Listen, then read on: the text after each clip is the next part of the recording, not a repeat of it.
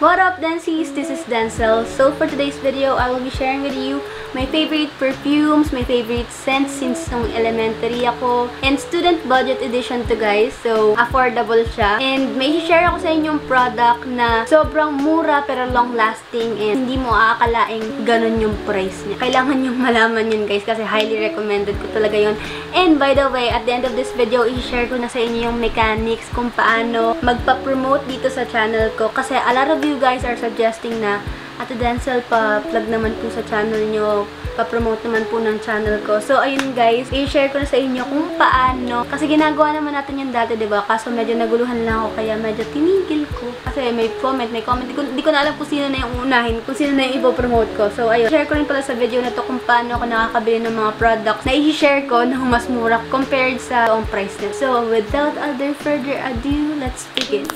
So, by the way guys, yung i-share ko pala is from least favorite ko hanggang sa pinaka paborito ko. Yun na yung sinasabi kong pinaka-mura. Oo, siya yung pinaka-mura, pero long-lasting. And yung scent niya talaga, yung amoy niya, hindi mo makakalain. Ganun yung price niya. Ito muna yung una kong i-share. Ayan. Sorry guys, hindi pa tayo gumagamit ng ring light ngayon kasi may araw pa. And I think mas okay ang natural light sa mga videos. And nung mga nakaraan kasi may na-migraine ako. Oo oh, nga pala. Pero totoo, kaya kung hindi niyo nakikita dito, ginaganto ko yung kamay ko, pinipinch ko. Tawag dito is acupressure. May mga points dito na makakatulong para makarelieve ng headache. So, yan, yan guys. If ever na masakit yung ulo nyo, pwede nyo gawin yung pinch-pinch dyan share ko lang. So, ito na nga pag-usapan na natin to. Sa lahat ng i-share ko, I think siya na yung pinakamahal. Kasi to be honest, hindi ko alam yung price niya. Kasi binigay lang to, dinala lang to ng uncle ko. And ginagamit ko rin siya for school. And yan na siya ngayon, guys. Ang kagandahan sa kanya is sobrang matipid. Sa lahat ng i-share ko rin, magpapaka-honest na ako agad. Siya yung pinaka-long lasting. But I think, lagpas isang libo siguro ang presyo neto. Hindi ata dito to sa Pilipinas. Hindi ko alam talaga, guys. Ang pangalan niya pala, T. Harley by Christian Eigner. Ayan, dala lang talaga ng uncle ko. Shinare ko lang sa inyo if ever na may chance kayong mamit siya, bumili, ganun. Pero less recommended ko siya. Kakahilo yung amoy niya kasi natatapangan ako. Ayan o. Hindi ito pwede sa akin kapag pagpuyat na ako. Kasi halimbawa magko-commit ako pag naamoy ko palang nahihilo ako. Pero kung gusto nyong makatipid, kung gusto nyong long-lasting talaga yung pabango nyo, then I can recommend it. Yun nga lang, siya na yung pinakamahal sa mga ipapakita ko sa inyo. Kaya siya matipid, maliban sa long-lasting, kahit dalawang, dalawang spray lang, dito kabilaan, okay na siya. Yun lang yung masasabi ko sa kanya. So, ito naman guys. Ito na talaga yung pinaka-OG ko. And sabay-sabay ko na silang isi-share sa inyo kasi para sa akin, hmm, nakita nyo, para sa akin, pantay-pantay sila. Bale, ang pinagkaiba lang nila is kung kailan ko sila nakilala. So, ito sila, guys. Ayan. Uunahin natin kung sino yung pinakauna kong nakilala sa kanila. So, uunahin ko tong Victoria's Secret na Sheer Love. Ito yung pinakauna kong favorite pagdating sa perfume. Mm. Kasi ganito yung story nun. Binilhan ako ng uncle ko nung isang ganun nung na Victoria's Secret. Mga ganito kalalaki. Kasi iba-iba. And ito yung pinaka nagustuhan ko guys. Grade 4 ako nun. Yung amoy niya kasi, very feminine. Hindi siya fruity, hindi siya parang candy, hindi siya matamis. Kasi ayoko ng ganong scent.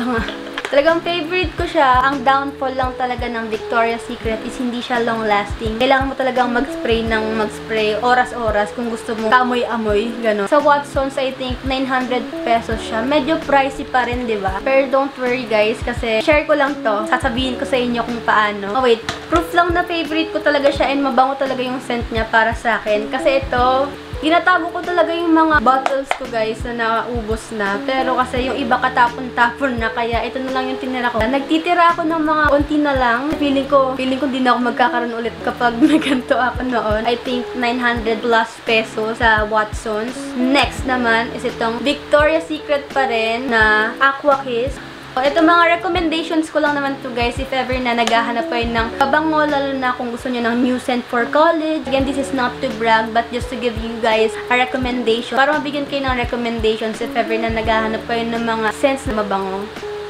Ito naman guys, na-discover ko siya, junior high school na ako.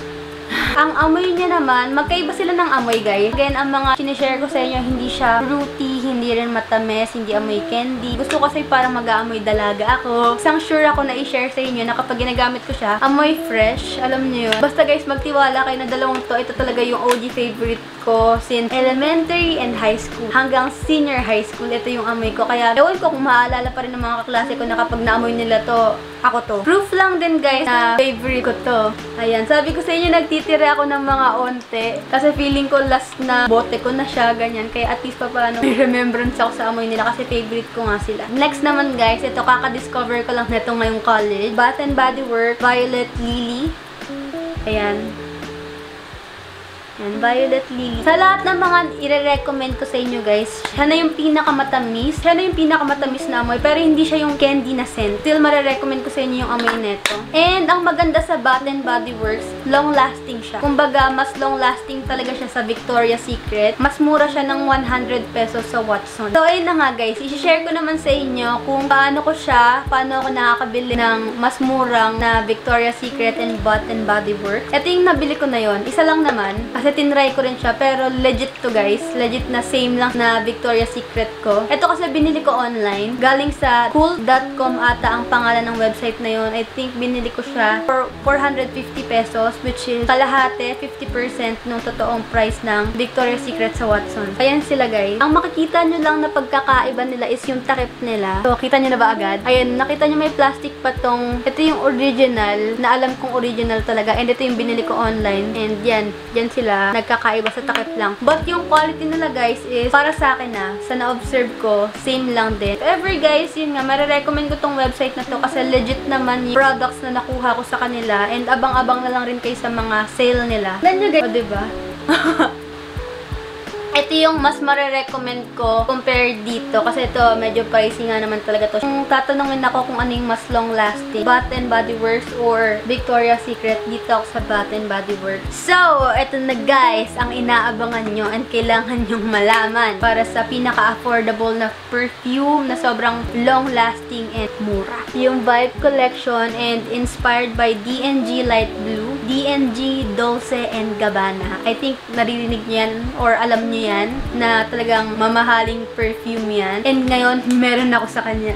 Meron na akong Dolce and Gabbana. To be honest guys, nung naamoy ko to, sabi ko, familiar talaga tong amoy na to. Hindi ko alam kung saan. Pero yun, naalala ko sa nanay ko nga pala. And alam ko naman yung mga pabango ng nanay ko na yun. Galing sa tatay ko. Sabi ko, chance ko na to magkaroon. Mag-aamoy mamahaling perfume na rin ako. Pero alam nyo kung magkano to. Hulaan nyo. Isang libo? Hindi. 800. Lower. 500. Lower. 300 lower. Kasi 250 lang siya, guys. Sobrang long-lasting niya. Tinry ko ulit to kanina before ko pinilm to. Nag-spray muna ako. So, yun, nag-spray ako. Tapos, bumaba ako kasi nagluluto ako ng ulam. Sabi ng nanay ko, oh, bango mo ah. Kumbaga, dumaan lang ako na Pero naamoy niya na agad to. Sabi ko, yun yung bagong pabango na meron ako. Sabi niya, kuhaan ko rin daw siya, orderan ko rin daw siya. Kasi, oo nga naman. Ito kasi guys, pwede mo tong araw-arawin, alam mo yun. 250 lang. Pero yung amoy mo, Dolce and Gabbana. Tapos, edi, pagbalik ko dito sa kwarto ko, pag open ko ng pinto, naamoy ko ulit siya. Sabi ko, okay, maganda talaga. Before ako naligo, syempre, inamoy ko yung damit ko, andun pa rin yung amoy niya. And ito ang maganda dito, guys, kapag ini-spray ko siya sa skin ko, syempre, tinatry ko rin. Isang factor din pala na kailangan nyong i-take consider, guys, pag bibili kayo ng mga bagong perfume nyo, kung merong skin reaction sa inyo. Pero sa akin, hindi. And ang mas napansin ko, moisturizing siya sa balat kasi nga oil-based siya. Ayun o, ang bango. Feeling ko bagay to sa uniform ko, sa tela ng uniform ko. Hindi ko siya mako-compare dito guys sa mga pinakita ko sa inyo kasi parang ibang level yung Dolce Gabbana na amoy. Dolce Gabbana for 250 pesos. San ka pa, ba diba? Ayun, yun yung maganda guys is wala namang reaction sa skin ko. And nakausap ko rin pala yung owner nito, nitong Vibe Collection na itong perfumes talaga nila is formulated para sa mga sensitive ang skin kasi yung may-ari nagkakaroon siya ng skin allergy, ganun. So, safe na safe to guys. You don't don't have to worry if ever na sensitive yung mga balat nyo. Kasi nga, kapag perfume talagang may contact sa skin natin, talagang natatamaan yung mga leeg. Yun talaga yung pinaka nagustuhan ko dito, guys. Kasi 250 pesos. I highly recommend this if ever na naghahanap kayo ng pabango. And I will link down in the description box yung Facebook page nila para if ever na interested kayong bumili and yung mismong owner, ililink ko rin yung account niya sa description box. Gusto ko lang siyang gamitin sa school. Bagay talaga siya sa tela ng uniform ko. Kasi ako, may mannerism ako na, halimbawa, walang ginagawa sa classroom, tapos board lang ako. Makikita niya ako, nakaganto lang ako. Nakaganyan ako. Kasi inaamoy ko yung sleeves ng, ng uniform ko. Eh, wala akong Wala akong necklace ngayon, guys. Wait lang, hahabol ko. Versatile netong necklace na to, guys. Or at least sa videos ko. Hala, basa na yung kilikili ka. Ah! Ang init kasi totoo naman. Naputol tayo dun sa storytelling ko. Gusto ko talaga na inaamoy ko yung sleeves ko. Hindi sa conscious ako, pero talagang naging mannerism ko na siya since high school ako na nakaganan ako. Nung high school ako, ito yung sinisinghot-singhot ko dito. Senior high ako, ito naman. Nung college, ito or ito. Pero still ginagamit ko pa rin sila ngayong college guys. And I think na yung magsi-second year ako, ito ang gagawin ko. Kasi para sa akin, nare-relax ako pag yun mabango. Nakaka-relax talaga yun. Para sa akin kasi, isa sa mga compliments na gusto kong matanggap, parang yun talaga yung nagiging, thank you po. Kapag sabihan ako, mabango ako. So talagang mabango ako. Kasi para sa akin guys, kapag may significant smell ka, parang mas natatandaan ka ng mga tao. And para sa akin, parte ng personality ko yung amoy ko. So para sa akin, highly recommended ko to. Sa price niya na 250 pesos, na ang amoy Dolce Gabbana na light blue. Sobrang worth it. I-search ko kung magkano yung Dolce Gabbana. 4,000? Apat na libo pa.